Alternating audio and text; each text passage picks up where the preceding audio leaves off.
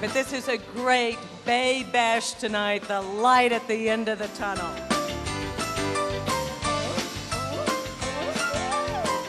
The tunnel is already in service. We accepted the first storm uh, about 10 days ago, worked perfectly, and uh, we're receiving more flow today. So the bay will be cleaner tomorrow than it normally would be.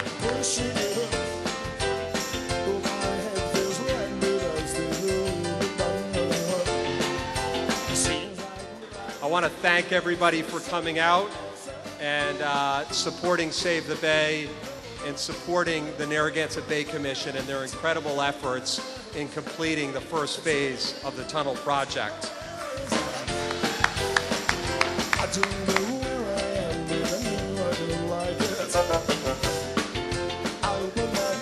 Honoring the Narragansett Bay Commission for the biggest project you'll never see. It's underground.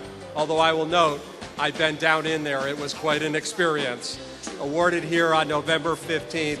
And again, thank the Narragansett Bay Commission and the leadership here for their incredible job. So please join me in giving them a big hand for this accomplishment.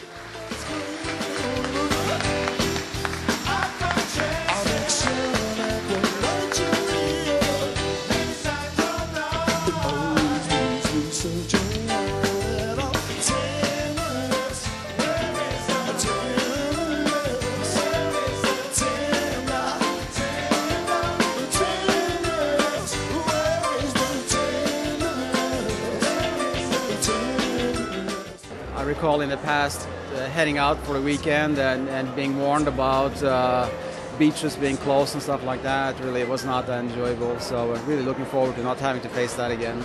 I'm a lifelong sailor. I uh, work in a sailing industry, work for a sailing magazine, and um, spend a lot of time on the water. And I think that Save the Bay is a great organization. It does uh, a lot of good things for this area. It uh, promotes the health of the waters around here and encourages people to be on the water. And I like being a part of that.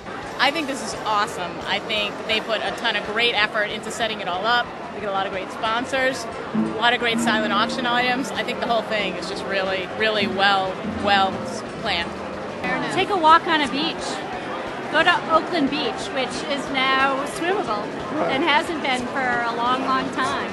It used to have the name uh, as, as a kid growing up on that bay.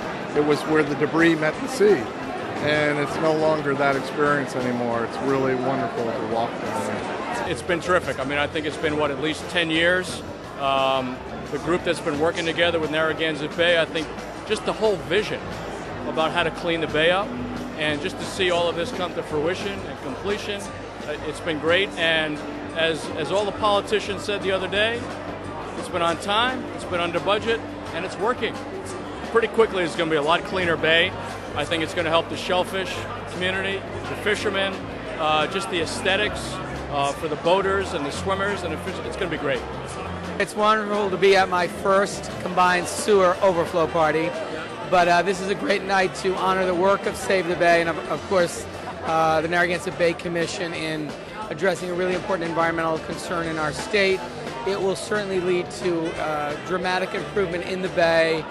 Really, congratulations to Save the Bay and the Narragansett Bay Commission and everyone who have uh, work, who have worked on this project for many years and have advocated for its importance to our environment and to the quality of life in Rhode Island. And it's going to be a great party tonight.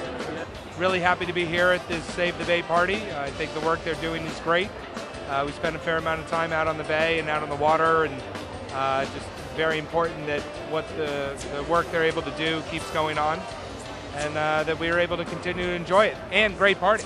Absolutely. Fantastic food tonight and great drinks. And looking forward to hearing English Beat soon.